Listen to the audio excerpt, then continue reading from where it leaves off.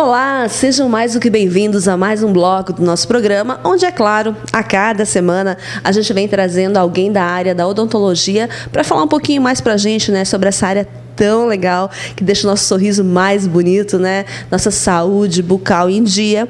E agora, nessa semana, a gente trouxe para falar com a gente o Dr. Wagner Marx. Ele que vai falar um pouquinho sobre aquela área super bacana que é da ortodontia, que deixa os nossos dentinhos todos bonitinhos, alinhados.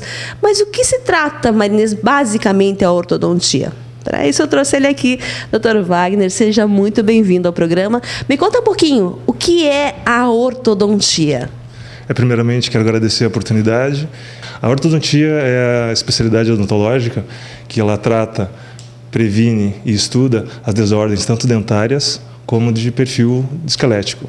Então, ela vai desde aquele dente que está mal posicionado, como a questão do crescimento também facial.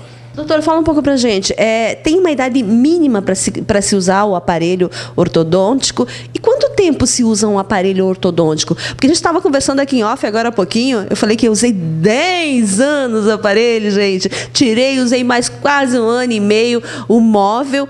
E aí, como é que funciona? A partir de que idade já é recomendado? E existe uma idade mínima, uma idade máxima? Não sei lhe dizer. Por favor, me corrija se eu estiver errada. É, a ortodontia ela se resume em mais ou menos em três fases. Tem a fase preventiva, que isso já pode começar desde as, da idade inicial ali na troca dos dentes, é sempre importante. É porque é sempre importante verificar como está sendo o desenvolvimento e a troca desses dentes. É, alguns casos já consegue prevenir algumas alterações que podem ocorrer futuramente, principalmente na questão que se refere à parte óssea. É, na infância, ali a gente já consegue prever o crescimento facial, já consegue prever se vai ter alguma desordem mais tarde e já começar talvez a interceptar, que seria a segunda né, a fase da ortodôntica, ou até a terceira, que seria a correção de uma má oclusão. Mas eu diria que a parte fixa, que realmente é a mais utilizada hoje em dia, ela começa ali em torno de 10 a 12 anos a partir do que os dentes permanentes já estejam em boca.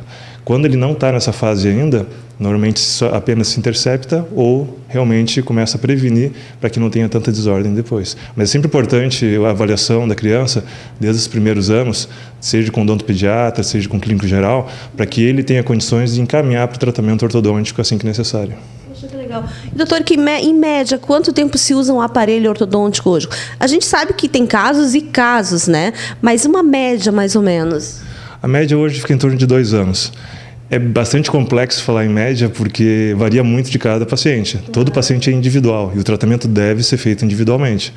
Então imagina que alguns pacientes podem realmente passar de dois anos e alguns casos podem ser tratados em apenas um ano. Isso vai variar muito da técnica do tratamento, vai variar também da idade do paciente e de várias eh, questões relacionadas a não só ao posicionamento dos dentes, mas também da estrutura facial. Alguns casos acabam sendo mais complexos por causa do desenvolvimento da face. Então, imaginando que a face ela tem crescimento anormal, vai dificultar um pouco mais. Alguns casos têm que ser encaminhados para cirurgia. Então, por isso que é interessante né, o controle, o cuidado e uma manutenção, não digo só a manutenção uh, quando se está usando o aparelho, mas uma manutenção preventiva. Que os pais tragam a criança já para verificar se vai ter alguma anomalia ao desenvolvimento dessa criança. Por falar em manutenção, muita gente pergunta e não tem como não lhe perguntar isso, é claro. Os aparelhos ortodônticos, eles causam manchas e cáries nos dentes? As manchas e as cáries, elas estão relacionadas mais à questão da higiene oral. Independente do aparelho ou não, se o paciente não tiver um bom controle da higiene oral, ele vai ter manchas, vai ter sangramento gengival e também vai ter né, o início de cáries. Às vezes a cárie ela se inicia com uma mancha, Muitas vezes a gente acha que é apenas uma manchinha no dente, mas já é o início de uma cárie. Então, por isso é importante né, a, a visita ao dentista, a vinda ao dentista né, de tempo em tempo, para conseguir verificar se tem alguma alteração. O que acontece com o aparelho? Se o paciente normalmente não escova ou não tem uma higienização correta, automaticamente, com o uso do aparelho, vai ficar mais difícil. Ficando mais difícil, vai criar mais placa, vai inflamar mais a gengiva e a tendência é que realmente possa criar cáries ao redor dos bractes. Então, o cuidado contínuo, a higiene, a conversa com o dentista é super importante para evitar esses problemas e depois, quando tirar o aparelho, está tudo ok, sem alteração nenhuma e sem nenhum outro problema. Bacana. Doutor, quais são hoje os tipos de aparelhos que existem no mercado? Alguns deles né, que possam estar auxiliando nesse tratamento? É, hoje existem diversos tipos. Uh, o aparelho convencional que todos conhecem, que é aquele que é seguro, né? o fio do aparelho ele é seguro por borrachinhas uh, que alguns pacientes gostam de usar coloridas, outros usam incolores, mas uh, esse é o aparelho convencional. Ele existe metálico, existe em cerâmica e existe o safira. De, fora esse aparelho, existe o aparelho autoligável. Este aparelho ele vem sido muito usado, porém ainda existe alguns profissionais que ainda não se sentem totalmente seguros com esse tipo de aparelho, mas pela questão de finalização do tratamento.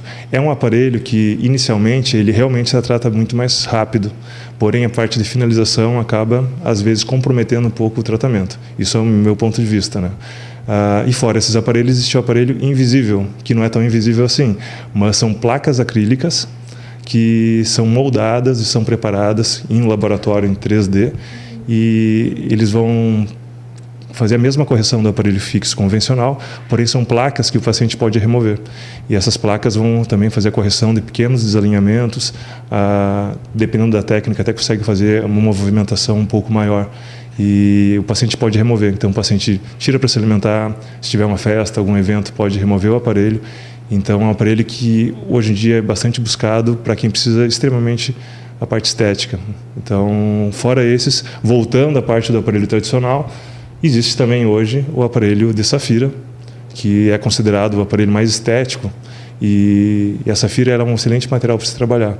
Ela é, além de ser estética, ela é mais vítrica, ela é muito mais resistente do que o aparelho em cerâmica. Na verdade, ela é uma cerâmica melhorada, né? chamam de safira, porém ela é uma cerâmica melhorada. É que ela se assemelha muito com a safira. E por ser uma cerâmica melhorada, mais resistente, ela acaba conseguindo ter um perfil um tamanho da peça muito reduzido em relação à própria cerâmica tradicional. Então isso gera menos desconforto ao paciente e um tratamento até rápido, como se fosse um aparelho metálico. Então seria uma excelente opção estética para quem não quer ficar com toda a boca com os brackets metálicos aparecendo bacana. Olha só quantas informações legais, né, pra gente num programa só, né? Pena que nosso tempo é curto. A gente poderia ficar falando com o Dr. Wagner aqui a tarde inteira, que ia ter muito assunto para conversar sobre essa área, que é uma área fantástica, né? E pensa, um sorriso bonito abre muitas portas, né? A gente já tem visto vários casos aí de tratamentos que têm feito maior sucesso e é claro que na área da ortodontia é essencial para a gente ter um sorriso bonito, né? Então, para você que estava procurando esclarecer suas dúvidas, a gente conseguiu esclarecer um pouquinho. Tem ainda dúvidas? Manda seu e-mail para a gente, está aqui embaixo a telinha, que a gente já reenvia para o doutor, o doutor já entra em contato contigo, já esclarece suas dúvidas também. Doutor Wagner, muito obrigada por estar conosco nesse programa, esclarecendo um pouquinho das dúvidas, com, contribuindo, é claro, né, para nosso bloco da saúde bucal especial, estrelas da área da odontologia. Esperamos tê-lo mais, mais vezes conosco, esclarecendo mais dúvidas ainda. Obrigado mais uma vez pelo convite. E realmente, como você falou, quem tiver dúvida, entre em contato, mande sua pergunta. Eu sei que são várias dúvidas e a gente está sempre disposto a ajudar. Uma das coisas mais importantes, não só da parte ortodôntica, mas toda a parte de saúde. Não só na parte odontológica, mas é a comunicação entre paciente e profissional.